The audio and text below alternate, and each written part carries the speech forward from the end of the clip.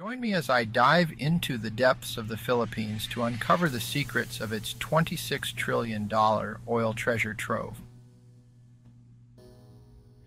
Hello everyone, I'm Steve, a retired military helicopter pilot.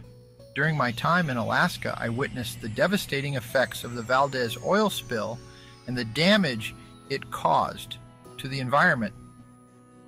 It would be heartbreaking to see a similar environmental disaster occur in the Philippines, a country that is not only breathtakingly beautiful, but also home to wonderful people.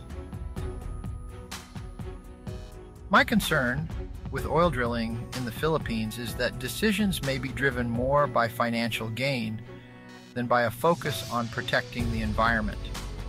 This issue needs to be approached with great care and thoughtfulness. There needs to be a delicate balance if this is to work. The Philippines is often hailed as one of the most energy-rich countries in the world. Imagine oil reserves worth a staggering $26 trillion. This treasure trove could give the Philippines an economic boost like never before.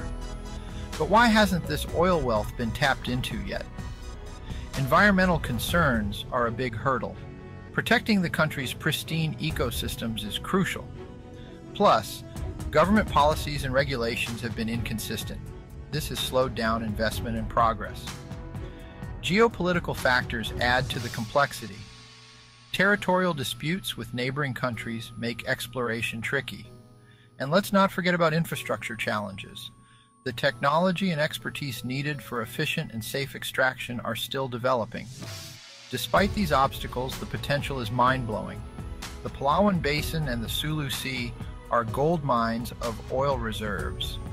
Advanced deepwater drilling technology is the key to unlocking these treasures.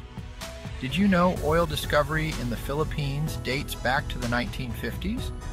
The first commercial oil well started in the 1970s. Since then, discoveries have been sporadic, but recent developments have reignited interest and investment. A major breakthrough in deepwater drilling has opened new doors. International companies are now partnering with local firms. This could be a game changer for the Philippines economy. So what does this mean for the Philippines and the global energy market? If managed well, this oil wealth could transform the country's economy. It could provide energy security and reduce reliance on imported oil. But the challenges and risks are real. Thanks for watching. Please share your thoughts in the comments below. This is an important matter for all of us.